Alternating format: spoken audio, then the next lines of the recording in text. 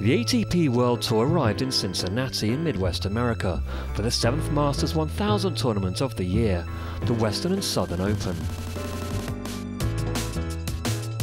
Part of the US Open Series, day one featured no less than seven Americans for the locals to root for. 15th seed Sam Querrey took on fellow American Stefan Kozlov on centre court. Wildcard Kozlov soon found himself on the receiving end of Querrey's powerful baseline hitting. That break of serve proved enough to claim the opener. And then Querrey went about dismantling Kozlov in the second set. Just 51 minutes was all it took for Querrey to crush his young opponent, 6-3, 6-love. All business today for Sam Querrey. Less than an hour needed to send Stefan Kozlov packing.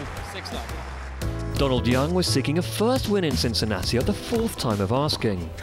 But things were looking bleak once more as compatriot Tommy Paul made the faster starts.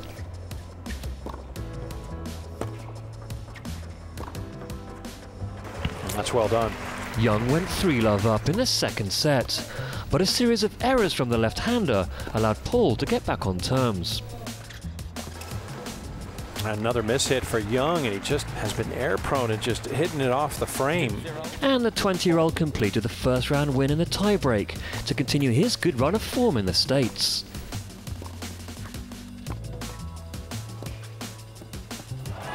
And well done, finishing with a flourish.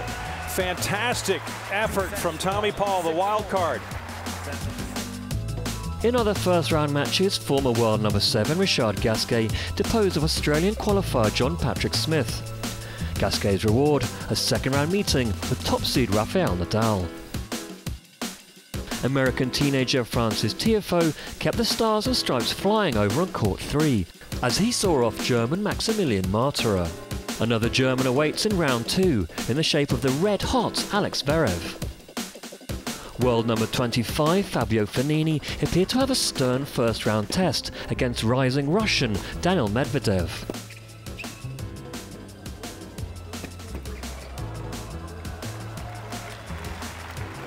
After the Italian took the opener in the tiebreak, next-gen star Medvedev's troubles continued into the second set.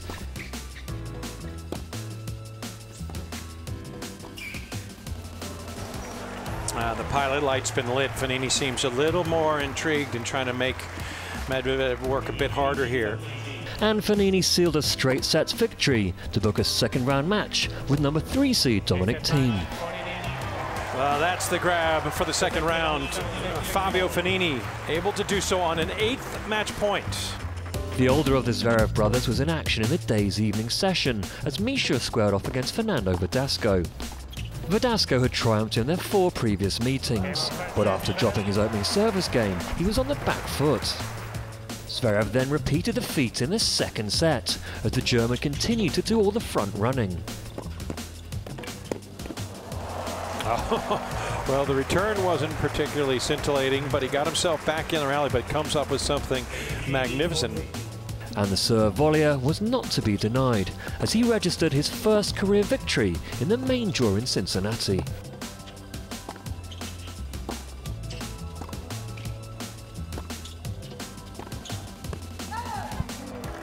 Win number 21 on the season has come for Mischa Zverev.